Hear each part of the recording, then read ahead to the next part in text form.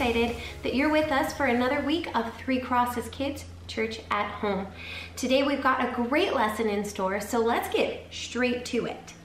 We're learning all about another miracle that Jesus performed. Now, what's a miracle again, you ask? Is an event that can't be explained by science or nature. It is a supernatural act of God. That's right, Professor. It is absolutely unexplainable. Only an act of the Lord could do this. And this time, Jesus is going to perform a miracle that faces something pretty scary. What are some things that you're scared of? Maybe you're scared of a lot of things, but we all have some type of fear. So I thought it would be fun to hear from some of our friends at Three Crosses Kids of things that they're scared of. I'm scared of thunder and lightning. I'm scared of wild animals. I'm scared of the deep blue sea. I am afraid of heights. I'm afraid of snakes. I'm scared of bugs. Spiders are scary. I'm scared of swimming in deep, dark waters. I'm scared of going to bed. I'm scared of roller coasters. I'm scared of spiders. I'm afraid of snakes. Me too. For me, I'm really scared of heights. I don't like going way high up. It doesn't matter if I'm on the Empire State Building or on a mountaintop looking out. My knees start to shake and I feel like the ground is wobbly. I don't like it at all. I actually go on a certain ride at Disneyland, Guardians of the Galaxy, do you know that one? Only to try to face my fear of heights every time. And I am so scared. I'm also scared of snakes. Don't tell me that snake doesn't bite. I'm still scared.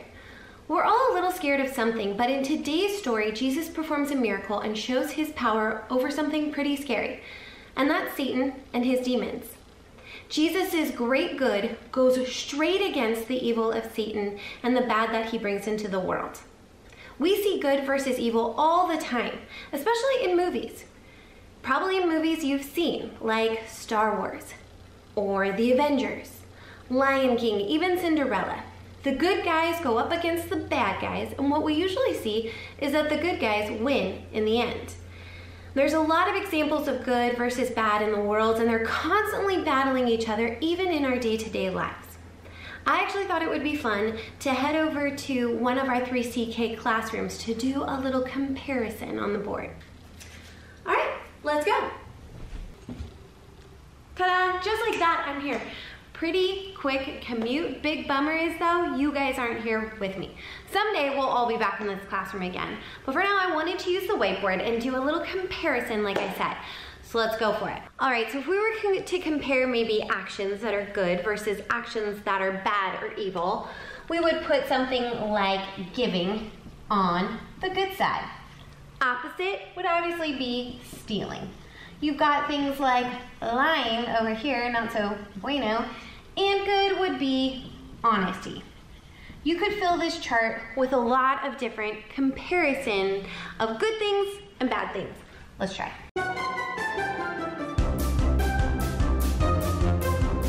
All right, so this chart could go on and on and on. All those things in the world and in our hearts that compete against each other. Along with those examples, we have some of the examples from the movies I talked about. Spoiler alert, be prepared. But you have uh, Simba on the good side going against Scar.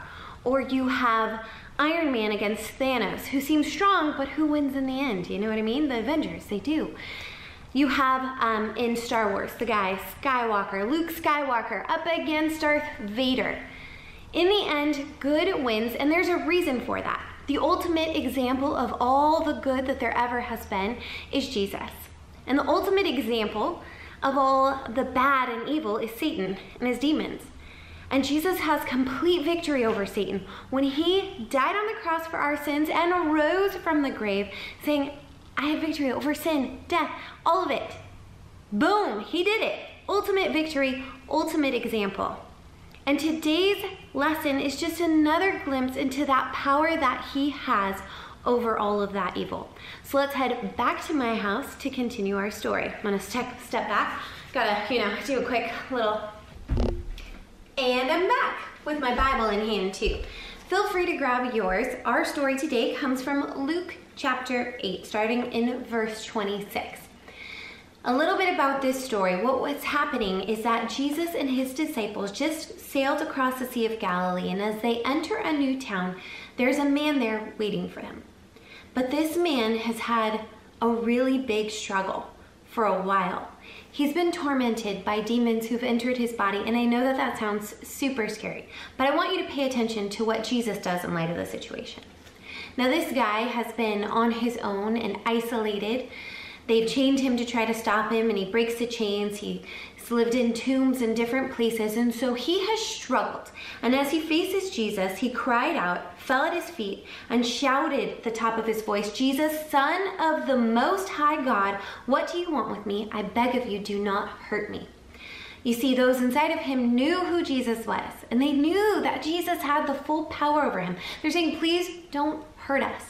They know that Jesus is the Son of God. Well, Jesus cast the demons out of this man's body. Sad little part of the story is that the demons go into these uh, pigs and then they run off a cliff and die, which is really sad. But the demons are now out of this man.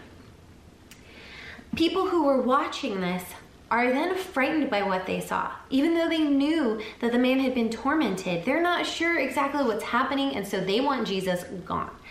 The guy who was just helped, though, on the other hand, he's free of the demons, begged to go with Jesus, but Jesus sent him away. He said to him, Return home and tell how much God has done for you.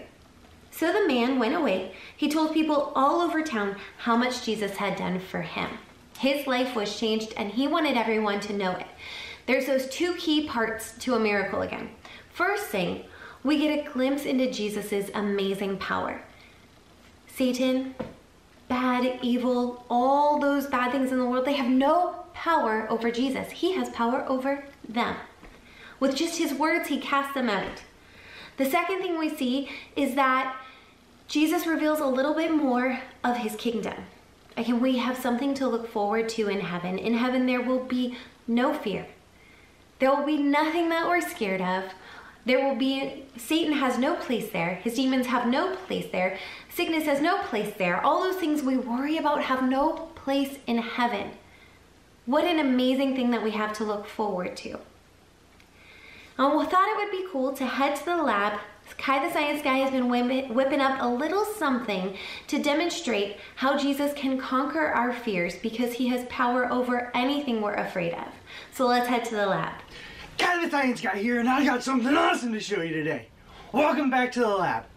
Now, today we're talking about fear. The things that make us shake our knees, buckle, the things we don't want to face.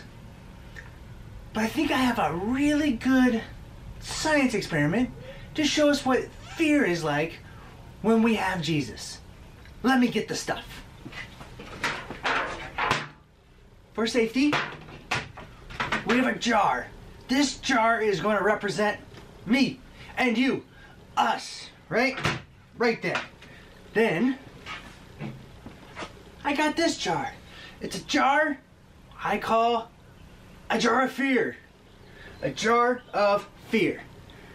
Now, this fear could be the little things snakes, spiders, heights.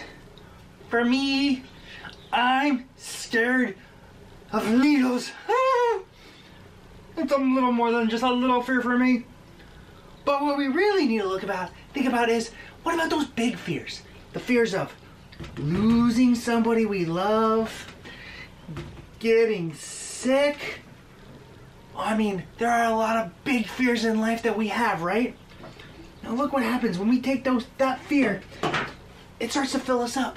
And the more fear we have, the higher the jar, it fills up the jar. It fills up me and you.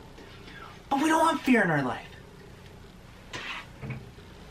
That's where Jesus comes in.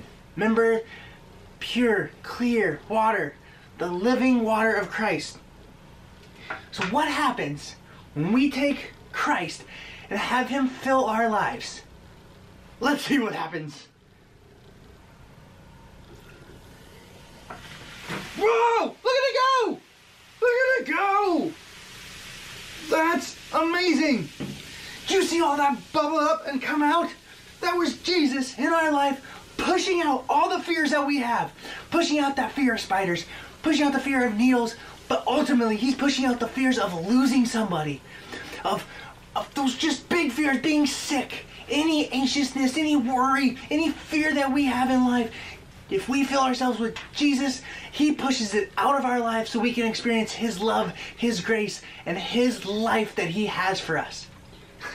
So remember, fill yourself with Jesus, get rid of the fear, and I'll see you next time. Oh man, I always love seeing what Kai the science guy whips up in the lab. Thanks, Kai. It was awesome as always. And I love that reminder. You see, as those fears start to creep up in our lives, as they often do, and I'm not just talking about the fear like I have of heights. I'm talking about some of those bigger fears, those fears about the safety of our family, our fears towards those bad things of this world that sometimes hurt us. That Jesus can conquer and have power over all of that. He had the ultimate victory, and we get to live in light of that truth. So, anytime you feel that creeping in, turn to Him and let Him push that out so that you can live in light of His amazing power. And then I think back to the guy in the story. Once he was free of Satan's power, he went out and he wanted everybody else to know what Jesus had done. So, what has Jesus done for you? What hope has he given you in your life that you can now share with those around you? I want you to share it with people this week and beyond. Let's share the good news that Jesus brings in our lives and the power that we share in through his death and resurrection. I love that truth. I can't wait to hear all the things that God's doing in your life when we're back together again. Let me pray for us before we go. Dear God, we thank you for another amazing day, for your love, and for the truth that you have power over all of those things that scare us. Help us to share the hope and the power that you provide in our lives with everyone we meet. In your name, amen.